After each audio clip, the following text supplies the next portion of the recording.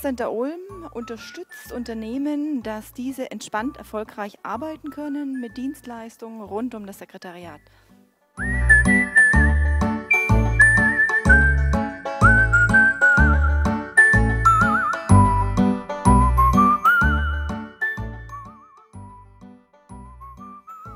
Gute Frage. Wahrscheinlich irgendwelche ähm, Seiten. Übrigens darf ich vorstellen, das ist meine kleine Tochter Elisa. Das ist die wahre Chefin des Business Centers. Kann ich, kann ich jetzt nicht sagen. Website Google ist natürlich gängig, wenn man irgendwas gesucht hat. Ist mal auf Google gegangen, aber ich denke, das war Anfang der 90er. Das erste Mal. Noch nicht. Habe ich aber vor. Das Business Center ist auch noch nicht so lange Facebook-Nutzer. War immer eine Überlegung, ob Firmen, äh, ob das für Firmen eine richtige Plattform ist. Mittlerweile sage ich ja und wir sind gerade dabei, unseren Auftritt bei Facebook auszubauen.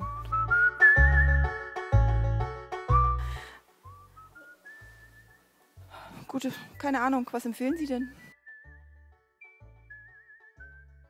Ja, Twitter eher nicht, sage ich. Weblog haben wir uns mit dem Thema noch nicht auseinandergesetzt. Sing, gut, haben wir seit einigen Jahren, habe ich privat auch seit einigen Jahren drin. Aber ähm, alles andere ist jetzt ein Thema, mit dem wir uns jetzt gerade aktuell beschäftigen.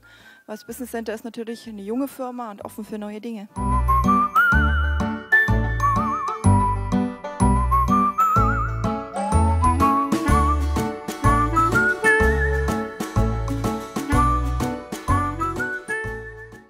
Mal sagen, das war so 92, 93.